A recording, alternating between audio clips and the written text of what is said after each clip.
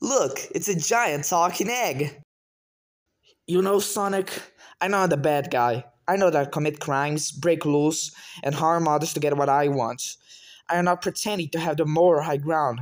However, I do think it is ironic that someone who believes they are a hero will still resort to insults about my weight. I know that you not respect me, but have you ever considered how your language hurts your friend Sonic? Your friend Big hears the things you say about me. Do you think that it makes it feel good to hear you repeatedly mock his body type, Sonic?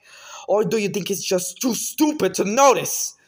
Do you remember how you ran away from Amy while she just just got in out the scariest moments of her life on Little Planet? Yes, I it was my fault that happened, but remember, I base Metal Sonic off of you.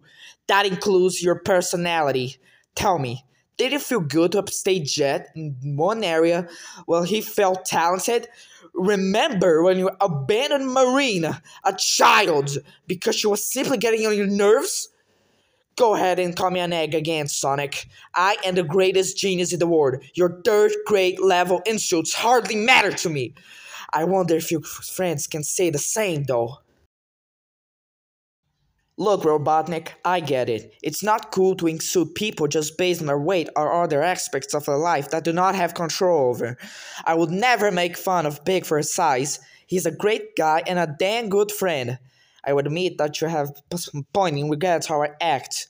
You're right that I can be cruel, mean, arrogant, and a bunch of other awful things. Nobody's perfect, I'm not, and you certainly aren't either.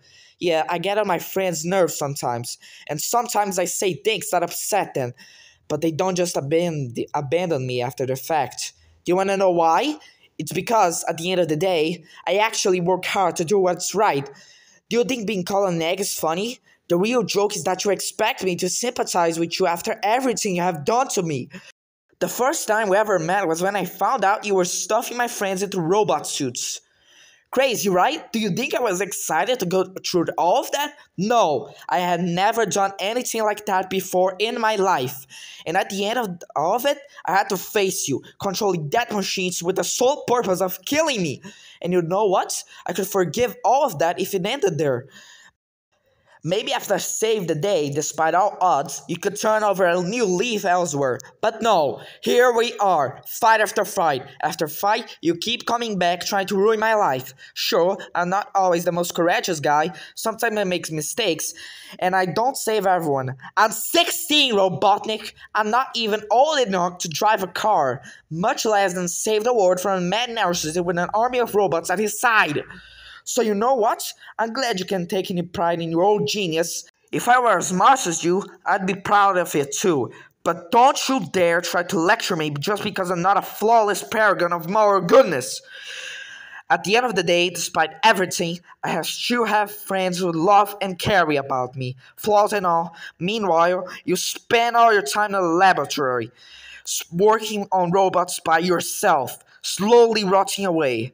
I don't care about your feelings, and neither do any of my friends. How many of those animals from Grill Zone ever made out of their mortal presence? I think about that every night, about all the people I couldn't save, and I cry because I fail. I feel like I failed worse than any person should. No matter how many schemes I foil, or however many insults I send your way, you will never, never feel the heartbreak of losing your loved ones like that because you never had one to begin with. Now come fight me, Dr. Egg fuck.